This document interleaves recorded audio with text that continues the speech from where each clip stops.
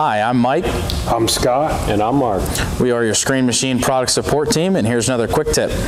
Today's quick tip is going to be on the 622TH, and it, we're going to focus on the uh, maintenance decal. On this maintenance decal on the side of the machine, this is lo also located in the operator's owner's manual.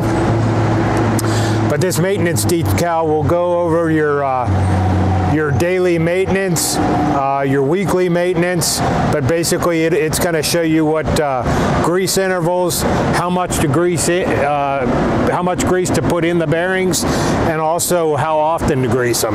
It's also going to have recommendations on when you change uh, uh, fluids and uh, make other inspections as well. So this is located right here for your reference, for daily reference. It's also located in the operator's manual.